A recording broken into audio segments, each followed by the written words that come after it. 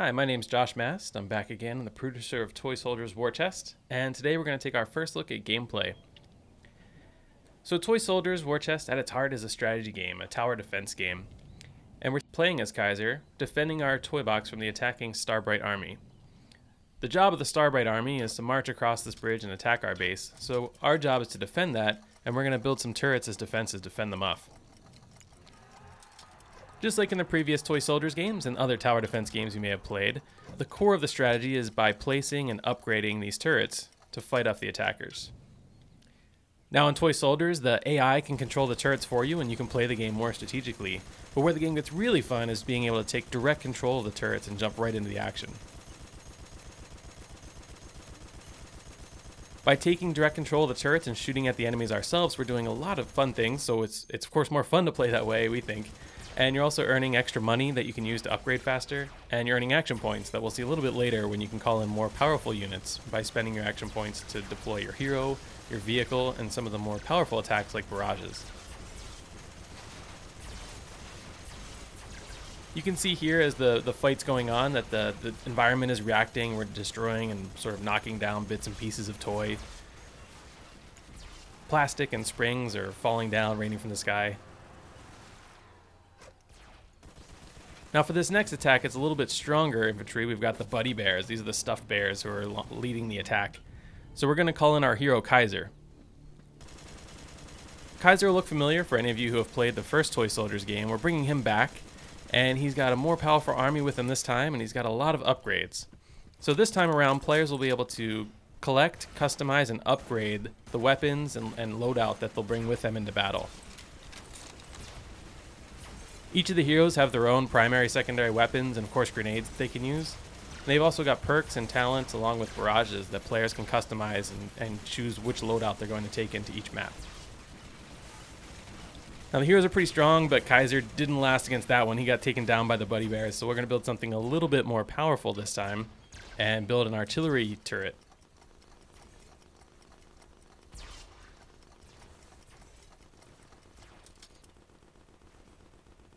Now we saw the environment being knocked down earlier. We took it a little bit further with Toy Soldiers War Chest and we made the environment uh, able to be destroyed so that it changes the way the map plays. So what we're going to show and take a look at here is being able to use this artillery turret to destroy this bridge so that enemies can no longer walk straight into our base. So by knocking out that bridge, the enemy units are now going to have to find a different way into the base, and they're going to have to path around here and take this side path and attack us from a different part.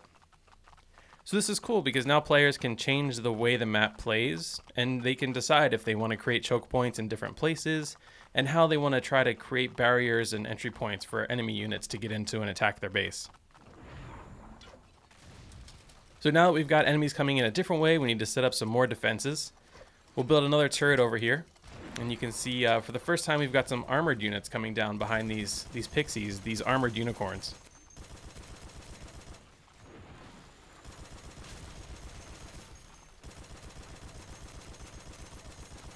Now the anti-infantry turret that we've been using is really effective against the light infantry, but it doesn't do much damage against armored units. You can see we've got these armored unicorns and we've got these heavy armored units, these rolly cats, which are giant toy piggy banks.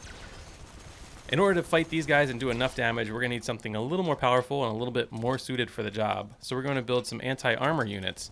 And for Kaiser, he's got these mortars that'll do great at destroying the armored units.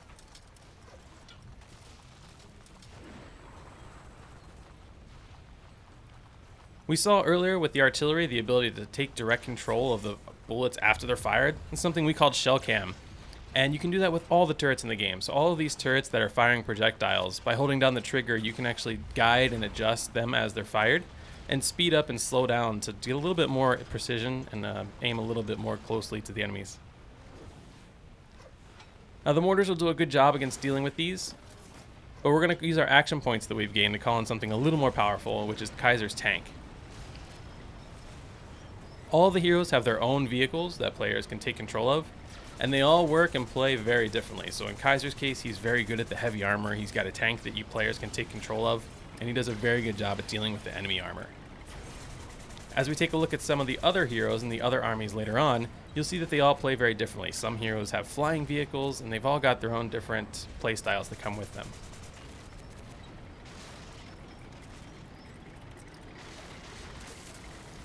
Now Kaiser's tank did a good job at dealing with the armored units, but if we look at our wave list, we can see we've got aerial units coming next. So we're going to need to build some anti-air defense to deal with it. And Kaiser's got a flak cannon that'll work really well. So we'll place a few flak cannons around the map and we'll do some upgrades to get ready for it. We've got a flock of Pegasus attacking us and they're supported by some fairies that are going to fly around and heal the units as they pass them on the battlefield. Now, just like the mortar, we've got that shell cam to let players take control of and guide the missile once it's been fired. And like the rest of the turrets, players can also choose to play more strategically. If you're not great or you don't have a lot of fun shooting the flak cannon, you can choose to stay in the tank or in a different turret and deal with some of the other enemies and let the AI take control of your anti-air turrets.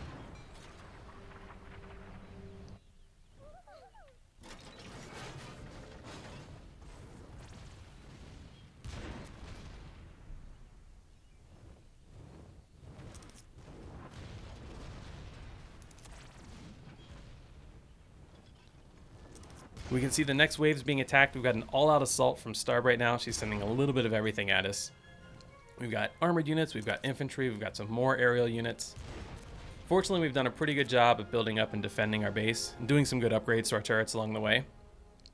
But we can see now, because we've knocked out that bridge, these units are choosing to take a different path into our base, and they're going to march across this paintbrush laying over the river. So we're going to have to build some defenses on this side of the map. We spent some time working on the AI and making the units more intelligent in general, so now the enemies are deciding how and where they're going to attack you, and when they're going to stop and try to destroy your defenses, or when they're going to march in and attack your toy box. This changes things up from the typical tower defense you may be used to, where units march in the same line into your base, and they don't really stop to engage you. So in Toy Soldiers War Chest, there's a lot more action to get used to. You've got to have defenses all around your base and a well-rounded and well-upgraded defense to fend off the attackers. We've got our turret here, and they're doing a, a good job at trying to defend it, but it's not going to be enough. Fortunately, we've got enough action points by taking control of the turret that we can call in our most powerful attack, which is Kaiser's Barrage. Today we're looking at his Zeppelin Barrage. You can see the players can control where and how it's going to enter the battlefield, and then you'll see the Zeppelin come in here and destroy this wave of attackers. All the heroes have several different barrages that players will upgrade as and collect as they play through the game, and players can customize and choose which ones they want to take into each map.